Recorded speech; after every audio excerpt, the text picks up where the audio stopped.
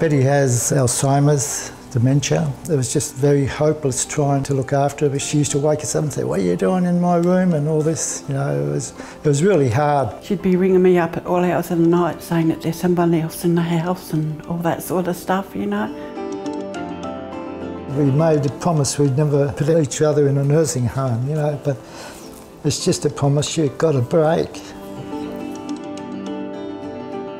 Summer when she phoned up, she said, come out and inspect the facilities, you know. And um, anyway, of course, we come out, but failing that, I don't know what would have happened, you know. I wouldn't have been able to handle exactly what they do here, no way in the world.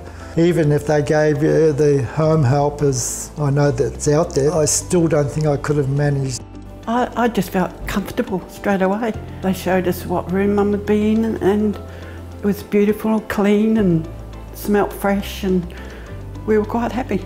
They care for her and she loves them, you know, she's always kissing them, wanting kisses and cuddles from them, you know, it's, it's lovely, lovely to see.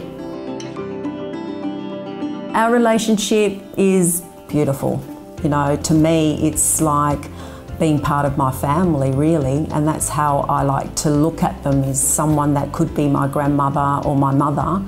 And our rapport is like that. Just because we're not blood related doesn't mean we don't care about them like as if they are our own.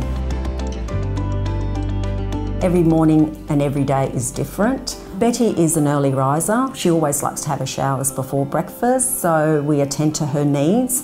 And she does have choices with what she wants to wear, so We'll hold up a few things. Oh, yes, I want to wear that, or no, I don't want to wear that. She likes jewellery, of course, so we always make sure she's wearing her jewellery. She goes to the hairdressers on Thursday, so we make sure we, she does that.